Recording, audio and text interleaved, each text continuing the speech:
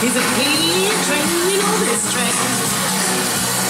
It's the prettiest train I ever did see. This train.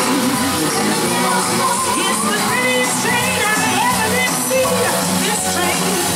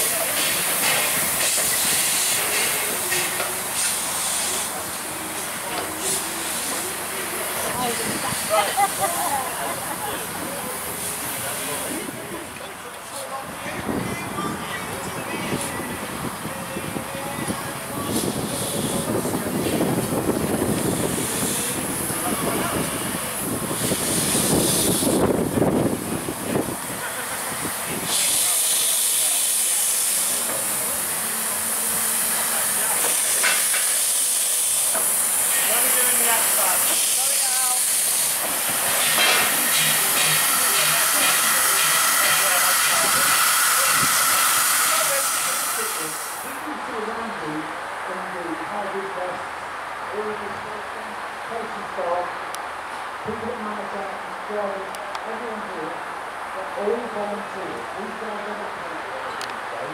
They're here, they're here to of help, and to do that. So